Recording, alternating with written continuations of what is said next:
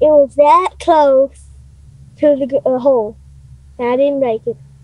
What what'd that make? What'd you make? I bogey. That's pretty good though. Yeah. You having fun? Mhm.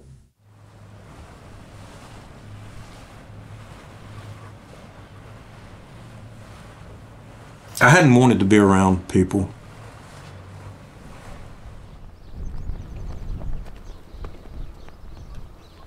I mean, people want to try to help, but they don't know what to say to you. And how would they know what to say to you?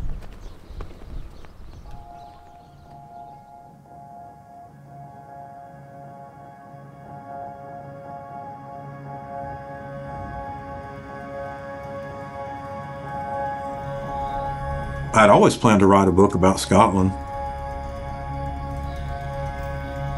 but it became something different. I mean, it became Jordan's story. And I don't know what it is, but it, it helped me.